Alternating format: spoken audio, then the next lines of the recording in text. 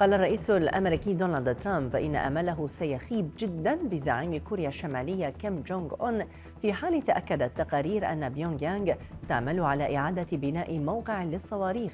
يأتي ذلك بعدما أعلن مركز الدراسات الاستراتيجية والدولية في واشنطن أنه رصد معاودة النشاط في موقع صاروخي كوري شمالي